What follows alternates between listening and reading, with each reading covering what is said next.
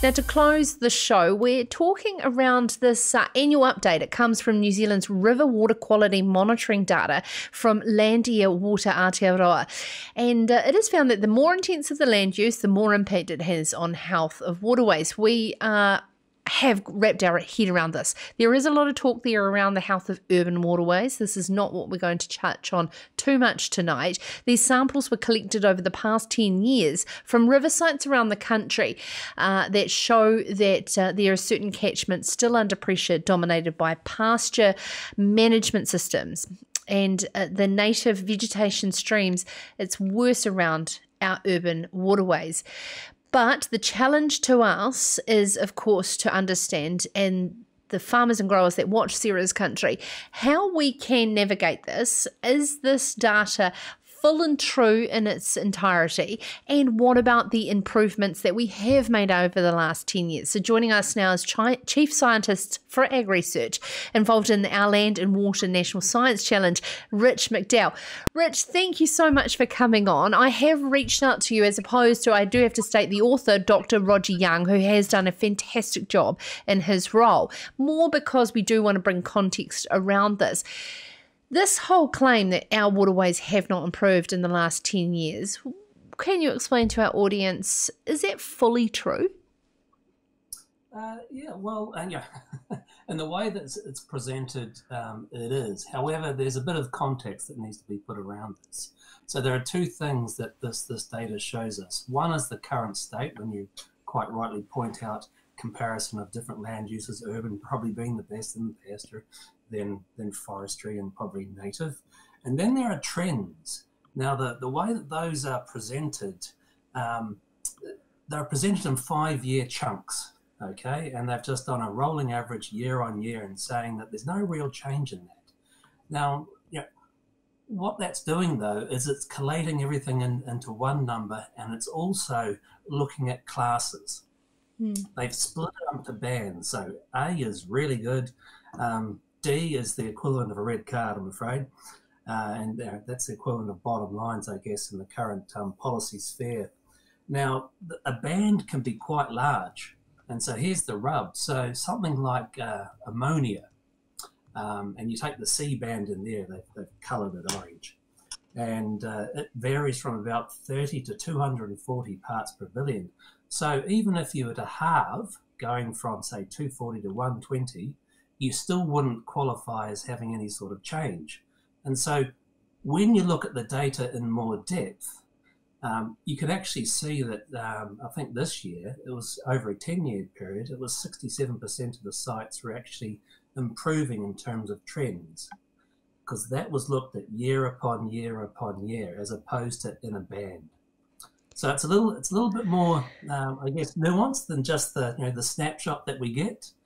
Um, yeah, and also there are other changes as well. I can explain a bit of those too. Yeah, and I think that that is the thing. And the reason I reached out to you is because you do such a great job of taking the headline science and bringing context around it. Now, farmers see these things or hear them on talkback radio and go, oh, goodness, all of this work that we've done, and it's not making any difference.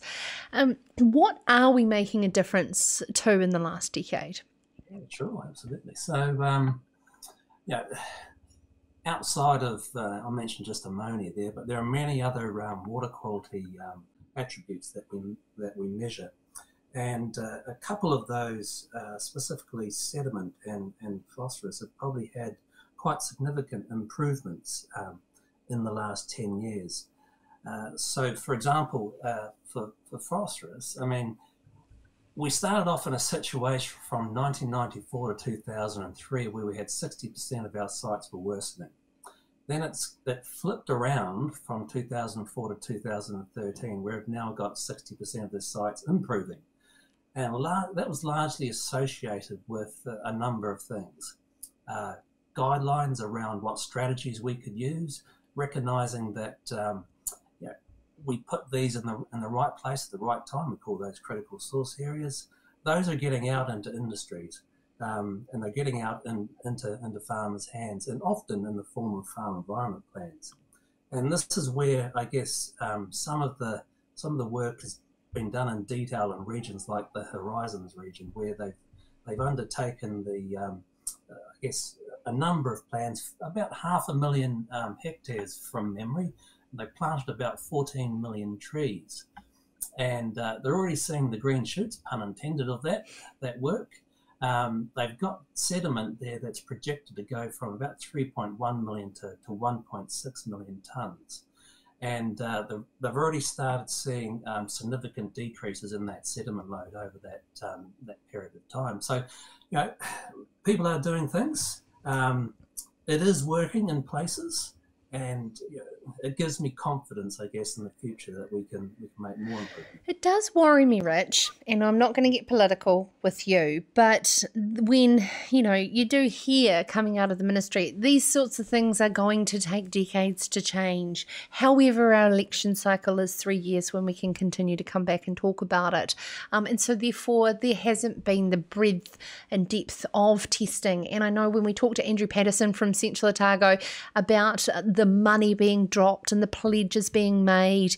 Yet all they want is an increase in measurement so that they can have a comparable debate.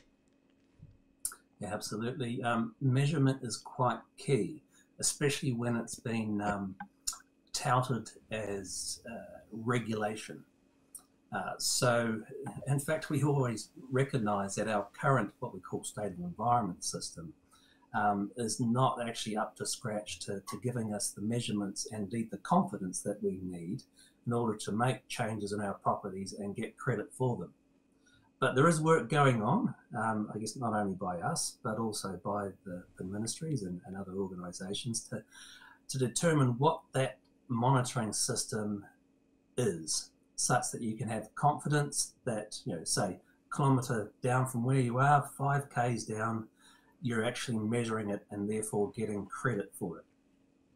And I'd like to know, to close, Rich, how do politicians come up with figures and pledges to bring together a single in a plan, which will include a lot and see out the implementation of it um, with a lack of cap- capability to enforce and see it out through our councils uh, when we're still just trying to wrap our heads around one, which is the farm environment plan, let alone so many other exercises. I know the work that you do. How, how do you feel about the blurring of the lines and what may become a, a minimum standard for market access and the importance of a farm environment plan stand alone. Yeah, I mean, I, I can see what they're doing. I, I, I, listened to your interview with Damien O'Connor yesterday, and I, can I can see it's laudable. Okay, you want to reduce the complexity um, and and bring simplicity, simplicity to it, but I also think you know you've got to move it from box ticking through to adding value. And so, not only having that that one plan that speaks to, to OSH, to animal welfare, to to, to market access, um, but it, it does it in a way that's seen as an incentive. Okay, so where you can incorporate the good things that the industries are doing with their particular farm plans, such that you're able to, to meet your compliance regime, but then leaving alone the areas where they're using it for, for market incentives, for premiums, etc. So yeah, I think there's a bit of work here to be done, and I know the time frame is, is bloody tight, um, but yeah, we don't want to get into the position where we're, we're just in paralysis, where we're doing nothing. But I would like to see, I guess, some flexibility to recognise that um, you know we're going to do some stuff. We're not going to get it right in the first instance but uh, to learn from that and adapt and to do that in a, in a time frame that allows us well allows allows everyone to adjust on their property.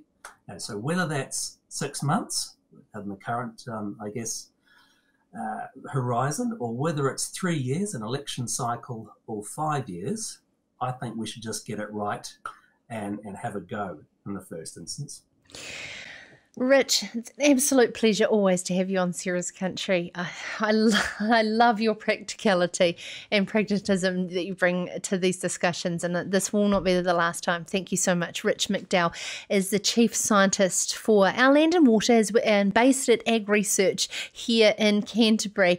Uh, and of course, head to Our Land and Water for all of the great work that they're doing in this national challenge. I really love following what's going along there. Uh, puts the positive on what what we are doing as a sector. This is Sarah's Country.